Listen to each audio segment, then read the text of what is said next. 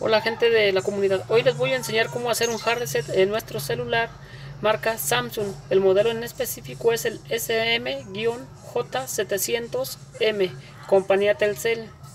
Vamos a insertar la batería, vamos a suprimir el botón de subir volumen, el botón de home y después en tercer lugar el botón de encendido, el cual se encuentra al lado derecho. En cuanto encienda vamos a soltar el botón de encendido y continuar manteniendo los otros dos botones. Ahí ya podemos soltar todos los botones y nos va a aparecer este robot. Aquí hay que esperar hasta que solito entre al modo recovery. Como ven, aparece solito. Nos va a aparecer este menú. Nos vamos a desplazar a la opción llamada WIPI Data Factory Reset y vamos a oprimir el botón de encendido. Enseguida seleccionamos la opción Yes y con el botón de encendido vamos a confirmar.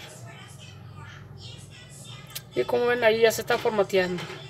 Una vez terminada nos vamos a desplazar a la otra opción que se llama WIPI Cache Partition y con botón de encendido confirmamos.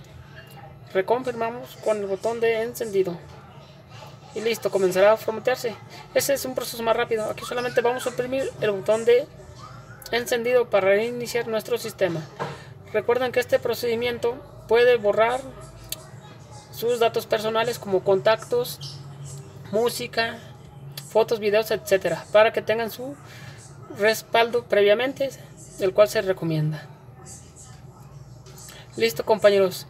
Este, esto sería todo. Si les ayudé en este video tutorial para hacer un borrado general de su teléfono marca Samsung, les invito a que se suscriban a mi canal Tutos Gejo 2 Saludos, un abrazo y hasta la próxima.